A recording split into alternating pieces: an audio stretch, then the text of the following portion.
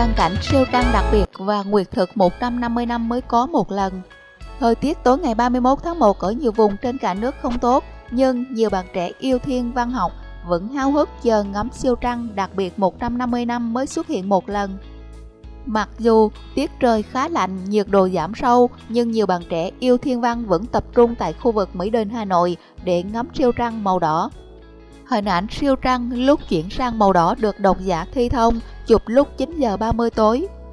Nguyệt thực tối ngày 31 tháng 1 này là hiện tượng thiên văn đáng chú ý nhất năm 2018 đối với người quan sát tại Việt Nam bởi hơn 150 năm mới xuất hiện lại. Lúc này trăng trong ảnh đang đi ra khỏi vùng tối của trái đất.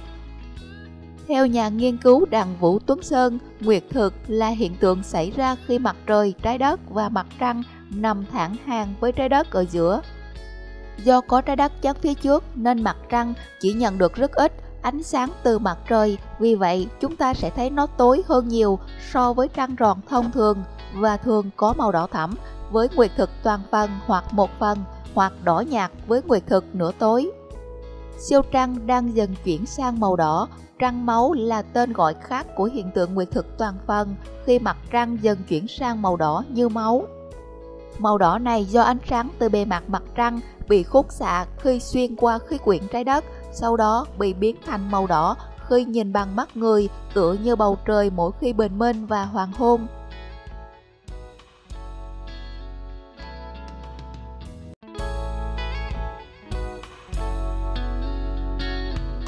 Tối nay trăng máu, trăng xanh và nguyệt thực cùng xuất hiện. Hiện tượng trăng tròn ngày 31 tháng 1 sẽ rất đặc biệt bởi nằm trong chuỗi ba lần siêu răng liền nhau diễn ra cùng lúc với nguyệt thực toàn phần và trăng xanh, trăng tròn lần thứ hai trong tháng. Nếu bạn sống ở Bắc Mỹ, Alaska hoặc Hawaii, nguyệt thực sẽ diễn ra trước khi mặt trời mọc ngày 31 tháng 1. Đối với những người sống ở Trung Đông, châu Á, phía đông nước Nga, Australia và New Zealand, hiện tượng đặc biệt này sẽ xuất hiện khi trăng lên vào tối cùng ngày.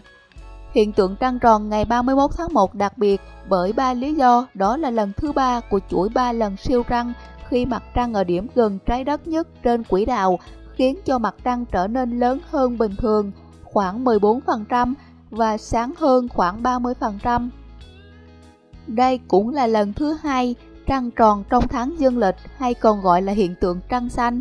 Cuối cùng, siêu trăng xanh này sẽ đi qua bóng của trái đất và những người sống tại những địa điểm thích hợp có thể nhìn thấy nguyệt thực toàn phần khi mặt trăng có màu đỏ nhạt, còn gọi là trăng máu. Nguyệt thực toàn phần chặn một phần ánh sáng phản xạ trên mặt trăng khiến mặt trăng có màu đỏ cam. Tuy hiện tượng trăng máu, siêu trăng và trăng xanh không quá hiếm, nhưng đây là lần đầu tiên trong vòng 152 năm, ba hiện tượng này diễn ra cùng một lúc.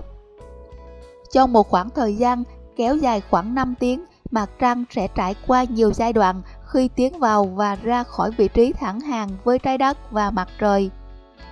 Người xem trăng tại Đông Á từ Thái Bình Dương đến Bắc Mỹ sẽ nằm trên đường đi của nguyệt thực toàn phần, trong khi đó người sống tại phía Đông Bắc Mỹ, Đông Âu, Tây Á sẽ nhìn thấy nguyệt thực một phần.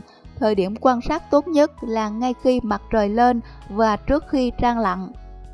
Ngày 31 tháng 1, nguyệt thực sẽ bắt đầu vào khoảng 5 giờ 51 phút sáng giờ miền Đông, 17 giờ 51 giờ Việt Nam. Trong đó, nguyệt thực một phần bắt đầu lúc 17 giờ 48 giờ Việt Nam và nguyệt thực toàn phần bắt đầu lúc 19 giờ 51 giờ Việt Nam. Nguyệt thực toàn phần đặt định lúc 20 giờ 29 giờ Việt Nam và kết thúc lúc 21 giờ 07 Tuy nhiên, nguyệt thực một phần sẽ tiếp tục đến khoảng 22 giờ 11. Để quan sát hiện tượng đặc biệt này, bạn cần tìm những nơi cao có đường chân trời không bị che khuất.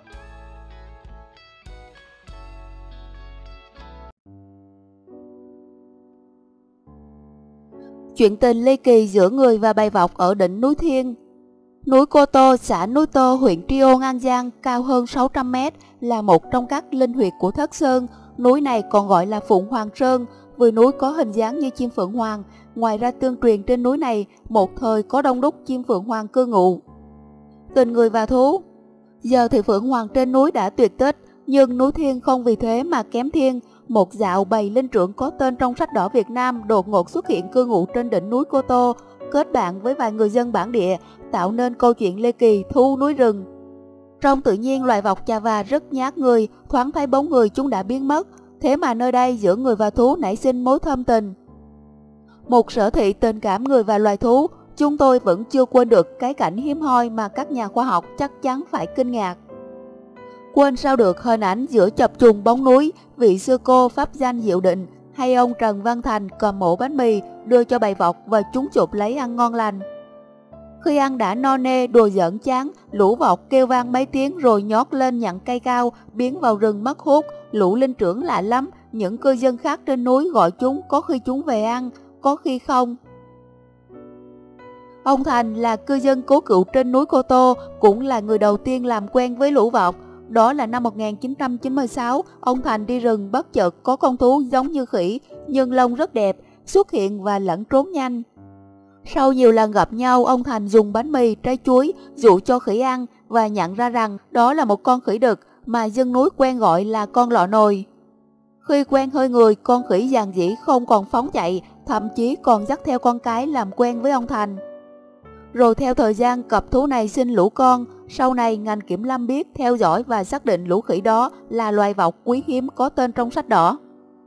Núi rừng An Giang có nhiều thú rừng như hươu, nai, sóc, nhen, khỉ, rắn hổ mây, cọp, nhưng loài vọc rất hiếm, chúng từ đâu đến không ai lý giải được. Nhiều người đoán cọp thú do ai đó lén đem lên núi phóng sanh, rất nhiều câu hỏi cùng thắc mắc nhưng câu trả lời chính xác vẫn im lặng như ngọn núi thiên. Cái chết đáng thương Những năm 2014 và đầu năm 2015, chúng tôi thượng sơn du ngoạn lên núi, xa lá nồ ngào xe cộ hưởng cái thư giãn nhàn tản của núi Cô Tô.